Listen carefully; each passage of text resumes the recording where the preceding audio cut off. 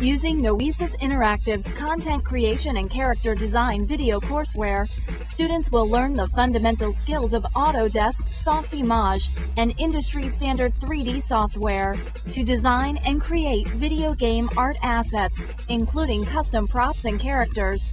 Specific attention will be given to the software interface and the core modeling, texturing, and rigging toolsets to generate low polygon models.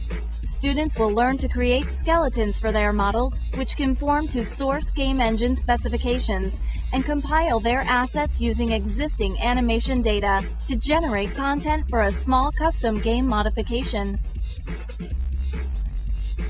During the course, students create a custom game character and use the Model Viewer application to check lighting and animation, as details are added through incremental adjustments and changes.